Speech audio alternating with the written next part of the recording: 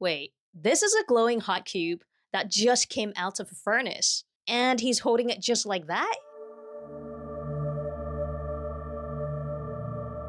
You see, when a space shuttle re enters Earth's atmosphere after orbit, its incredible speed compresses the air in front of it to create a shock wave that heats the air around it to extreme temperatures, hot enough to melt metal. That's why engineers designed space shuttle thermal tiles. They are made mostly of air and silica fibers, which make them super insulating. So covering the shuttle with thousands of these tiles keeps it from burning up or melting away during re-entry. The same way it keeps your hand from being burnt here. And it's kind of like fire walking. People walk barefoot across burning coals, which looks insane. But it's not because they've got hobbit feet with superhuman pain tolerance. It's just that coal is a poor conductor, and the ash on top also helps insulate their feet from the heat underneath.